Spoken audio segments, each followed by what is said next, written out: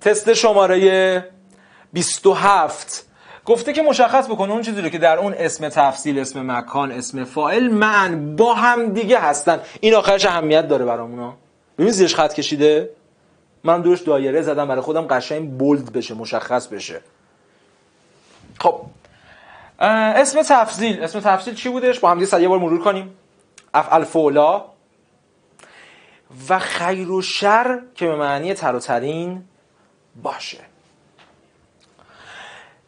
افعل فولا بعضی وقتا این افعل فولاه بر وزن نمیشه افعل.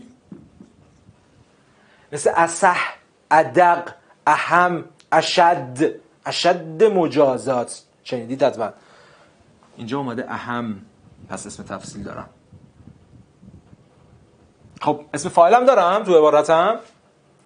اسم فاعل چی بود؟ اسم اسم مکان رو بگیم. اسم مکان سه وزن داشت. مفعل مفعل مفعله. درسته؟ اینو داشته باشیم. اسم فاعل چی بودش؟ بر وزن فاعله و هر کلمه ای که هر اسمی که اولش مو باشه ما قبل آخرش چی باشه؟ ا داشته باشه. حالا نگاه بکنید ببینیم چه چیزی می‌بینیم اسم فاعل می‌بینم در عبارت هم نه نمی‌بینم. پس اینجا فقط اهم رو دیدم. مکاره من بر وزن مفاعله. مثل مدارس مدرسه مفعله شده حالا مدارس. اسم مکانمون. بریم دو. توی دو اسم تفصیل می‌بینم. افعل فعلا وجود نداره. پس اصلا دو رو سریع حذف کنیم. یک رو هم که حذف کرده بودیم. دو هم خیلی ساده.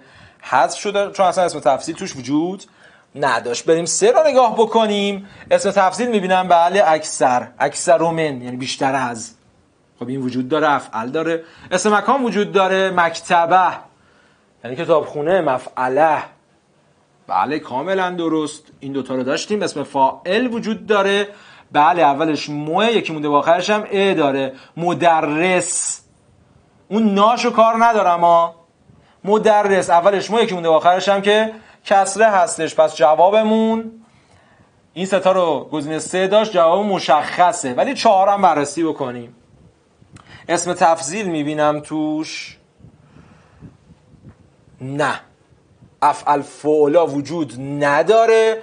پس طبیعتا گزینه چهار رو هم خیلی ساده رد می‌کنیم و جوابمون میشه طبیعتا گزینه سه.